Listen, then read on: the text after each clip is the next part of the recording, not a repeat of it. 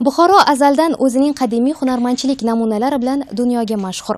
Qadimiy hunar turlaridan biri sanalgan e, zardozlik hunari bilan oltmish yildan beri shug'ullanib kelayotgan mahfuza salimova tashkil etgan zardozlik maktabida bugunda yuzdan ortiq shogirdlar faoliyat olib borishadi. Ushbu maktabda faoliyat olib borayotgan zardozlar esa mana bu bejirim kolleksiyalar orqali o'n beshdan ortiq xalqaro ko'rgazmalarda munosib ishtirok etishgan. Ko'zni qamashtiruvchi zar orqali tikilgan kiyimlar hatto yuz yil ham saqlanishi mumkin. Faqat asl zar va mohir tikuvchining qo'lidan o'tgan bo'lsa. Bizlar aslida oilaviy zardo'z man beshinchi avlodman. Yetti yosharimdan qo'limga igna tutganlar buvijonim ammalarim.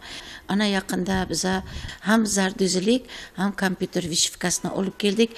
Mahfuza salimovaning qo'l mehnati butun dunyoga mashhur. Oladigan buyurtmalarimiz asosan chet el talablariga binoan tikiladi deydi u. Buxorocha zardo'za so'zanalar ayniqsa qo'shni mamlakatlarda mashhur. E, pochta orqali asosan amerika qo'shma shtatlari afg'oniston tojikiston qozog'iston qirg'iziston bilan zich e, boylangan darajada ish olib boryapmiz. Chunki yuzta yuz yigirmata e, ishchini masalan ish bilan ta'minlash o'zi bo'lmaydi. Yaqinlashib kelayotgan festival uchun esa ushbu mo'jazgina maskanda tayyorgarlik avjida. Mana shu ochilishimiz davrida o'zimni kitobimni chiqarganman zar qadri degan uni masalan taqdimoti bo'ladi yangi yangi modellar yaratganman. Mohir zardozning shogirdlari ichida o'z kasbidan rohat topib hozirda zardozlikni yana yigirmaga yaqin qizlarga o'rgatib kelayotgan hunarmandlar ham bor. Yigirma o'ttizdan ortiq shogird chiqarganman. Mo'ynoq shahridan o'sha shogirdlarim kelgan. O'shalarga ham o'rgatganman. Hozirgi paytda shu ishxonani o'zida birta oila bo'lib ketganmiz. Opa singilday.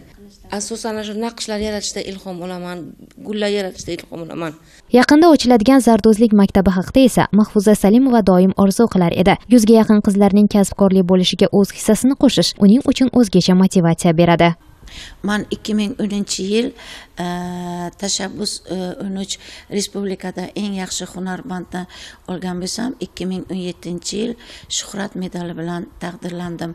Ana mana shu yil yana man uchun eng yaxshi yil bo'ldi. Mo'tabar ayol medali bilan taqdirlandim. E, ikki yil oldin bizaga mana shu qo'qonda man yurtboshimiz bilan uchrashgan paytimda zardus sentr galereyasi qiling deb bizaga yer ajratdilar.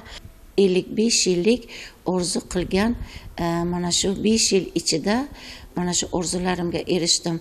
Zardo'zilik maktabini ochdim. Ochilish marosimi yigirma ikkinchi mayda. Kutilayotgan festivalda mohir zardozlar tomonidan yangi kolleksiyalar namoyishi uchun qizg'in tayyorgarlik ko'rilmoqda. Muhiba alayeva sherzod shamsiyev hudud informatsion dasturi uchun buxorodan.